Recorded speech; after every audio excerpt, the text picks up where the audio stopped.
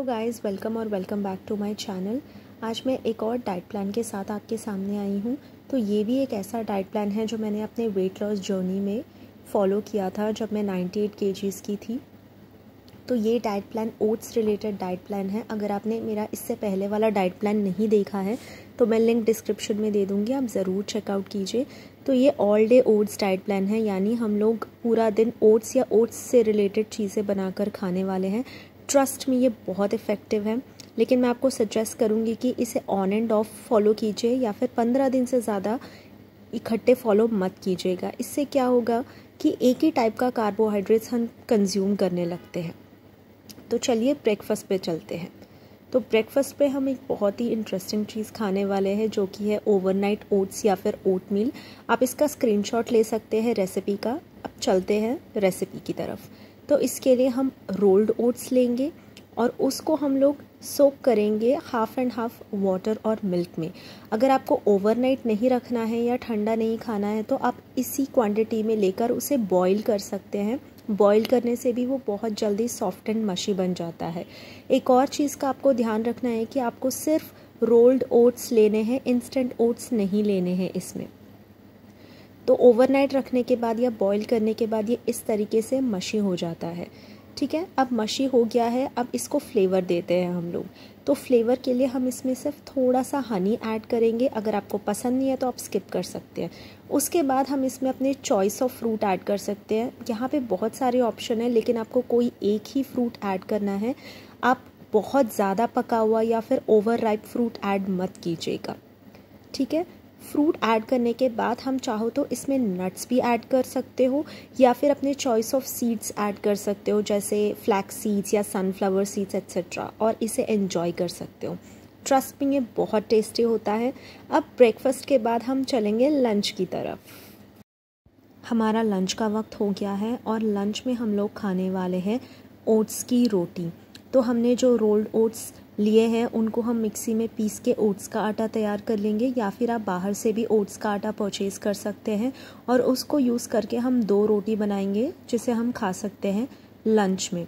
अगर आपको सिर्फ़ ओट्स के साथ रोटी नहीं बनानी तो आप उसमें थोड़ा सा ज्वार या फिर थोड़ा सा गेहूँ का आटा मिक्स करके भी आप रोटी बना सकते हैं।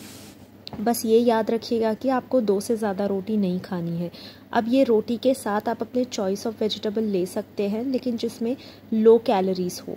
मैंने एक वीडियो ऑलरेडी शेयर किया है, जिसमें मैंने मेंशन किया है ऐसे वेजिटेबल्स जिसमें काफ़ी कम या नेग्लिजिबल अमाउंट ऑफ़ कैलोरीज़ होते हैं। लिंक मैं डिस्क्रिप्शन में दे दूँगी। उसमें से आप कोई भी वेजिटेबल चूज़ करके बना सकते हैं और उसको ओट्स की रोटी के साथ खा सकते हैं। सब्ज़ी के साथ साथ आपको सैलड भी डेफिनेटली कंज्यूम करना है और सैलड के साथ साथ आपको हाफ़ बोल कर्ड भी लेना होगा। यह आपके प्रोबायोटिक के रिक्वायरमेंट को पूरा करेगा। तो यहाँ पर मैंने एक स्लाइड शेयर किया है, आप इसका स्क्रीनशॉट ले सकते हैं कि आपको लंच में क्या क्या खाना है। अपना लंच एंजॉय कीजिएगा। ओट्स की रोटी बहुत टेस्टी होती है। इसके बाद हम सीधा डिनर पे मिलेंगे। मैं कोई इवनिंग स्नैक नहीं दे रही हूँ, लेकिन अगर आपको भूख लगे, मन करे तो आप मखाना या फिर हाफ़ कप टी ले सकते हैं। तो डिनर पे मिलते हैं। अब डिनर की बारी है। तो डिनर में हम खाने वाले हैं ओट्स और बेसन का चीला। तो हमें ओट्स का आटा लेना है और इक्वल क्वांटिटी में बेसन भी लेना है बैटर बना के चीला बनाना है। आप चाहो तो इसमें वेजिटेबल्स भी यूज़ कर सकते हो, बस लो कैलोरी वेजिटेबल्स यूज़ कीजिएगा। और अगर आप काफ़ी सारे वेजिटेबल्स डाल के चीला बना रहे हैं तो आपको एक चीला खाना है। अगर आप प्लेन चीले बना रहे हैं तो आपको दो चीले लेने हैं। और आपको केचप वगैरह के साथ नहीं खाना है, या तो आपको चीला प्लेन खाना होगा, या फिर आप उसको ग्रीन चटनी के साथ खा सकते हैं। उसके साथ साथ आपको बटर मिल्क भी लेना है, एक ग्लास आपको, आपका मील इसके साथ एंड करना है। आप इसका स्क्रीनशॉट ले सकते हैं और अपना डिनर एंजॉय कीजिएगा। होपफुली आपको आज की सारी रेसिपीज़ और रेसिपी ऑप्शंस पसंद आई होंगे।